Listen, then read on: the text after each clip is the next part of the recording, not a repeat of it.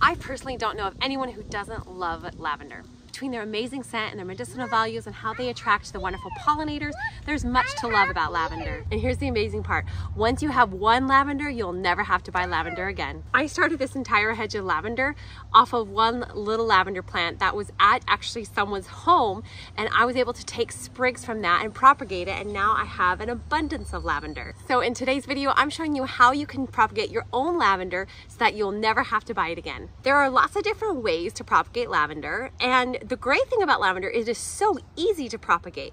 So you can try many of these different methods and they will probably all work to a certain percentage. So here's a lavender sprig that I started from this plant here um, about a month ago and just check out that root system there. So a few things that you'll need. The first thing is a pair of good clippers. Um, I made sure that these were nice and clean so I don't have any disease issues. Though not necessary, rooting hormone can sometimes help speed up the process of rooting. I'm also today going to try, I've never done this before, um, but I'm gonna be trying Vermisterra's Vitality. This here has natural plant hormones in it, so it can replace your rooting hormone and it's more natural and I've heard it's more effective. So I'm gonna give it a try today and compare it. So stay tuned for another video on how this worked. You'll also need a pencil as a dibbler or some sort of thing.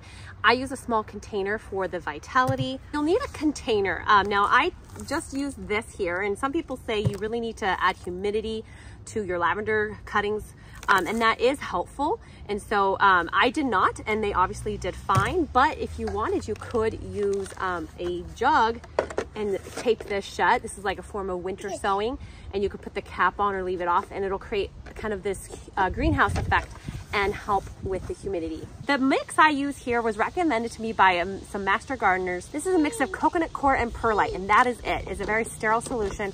You can also use just a basic seed starting solution. Try to use something that is sterile and doesn't have soil in it. The best time of year to take your lavender cuttings is in usually July and August. Some people can do it as early as June with success. Uh, these cuttings, these cuttings that I took were in June, um, and you can do it when it's flowering.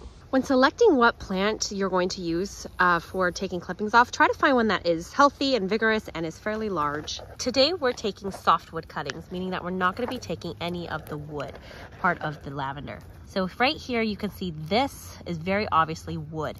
And if I were to bend that, it would snap, it would break. This on the other hand is green. So this is a softwood and this is what we're going to be taking our cuttings from. But ideally we want to find one that is not bloomed yet this time of year can be tricky to find softwood parts that are not blooming, but I tend to dig down, and this is a perfect example of one right here. It is softwood. It is not very big, but it is not blooming. And we're just gonna clip that. It's a perfect one. Moved out of the sun. It was getting really hot over there. I did get a few clippings and I wish I could have shown you a little better how to find these.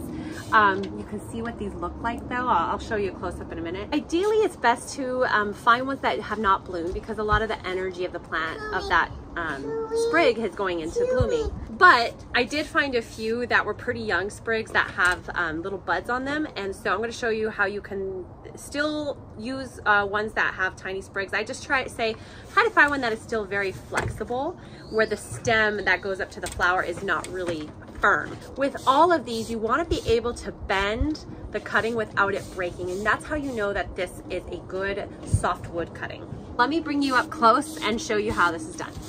I just did a bunch of these thinking I was filming and kind of find out it was not filming. So I went and got a few more. Here are examples of three different sprigs I could find that were not blooming. Sadly, I had the few that were blooming already and I clipped them without this videoing, but I, what I basically did was I took the bloom off. So this is what we're left with. Not ideal, but it still is somewhat flexible, so hopefully we can get this to root. So what I'm gonna do first is I, each of these has a little bit of the woody part on there when I was clipping it off, so I'm just gonna take that off here.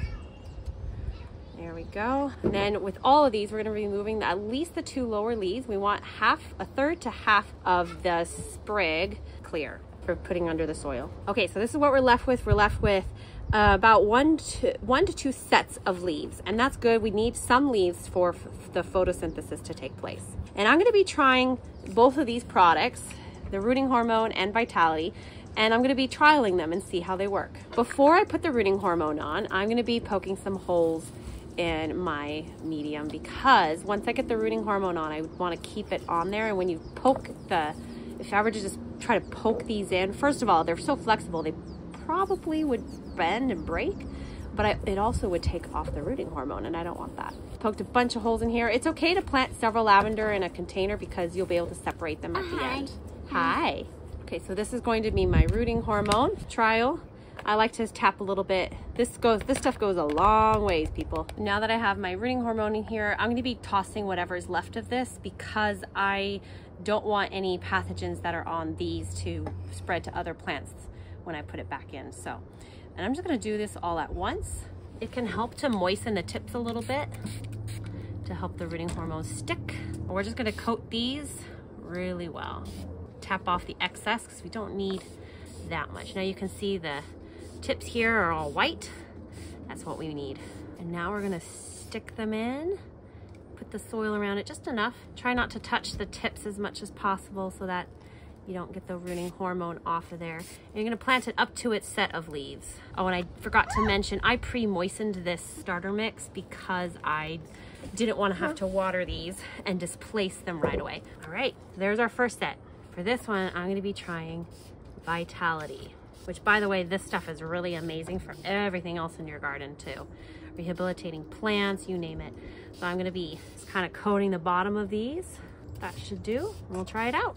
I have taken many cuttings of lavender, and even with my experience of doing this, I still do not get 100%. So don't get discouraged if not all of your cuttings root. There you have it. These are our lavender cuttings that we are going to be babying for the next bit. Basically, you're just going to mist them every few days. Unless they look dry, then definitely mist them. Now I'm gonna be placing these in my home where the temperature is regulated. You can also try leaving them outside, but make sure wherever you place them, they are not in direct sun. So give these at least a month before you do the tug test where you kind of tug on them to see if there's any roots. And then at least probably wait a month and a half to two months before you take these out and you pot them into something bigger. These are some of the cuttings that I took a month ago that I'm going to be potting up now into larger pots. And I'm gonna wait till next spring before I plant these in the ground. If you've ever wanted to grow an abundance of lavender, I hope this video will help you get there. Thanks for watching today. Go out and grow something. God bless.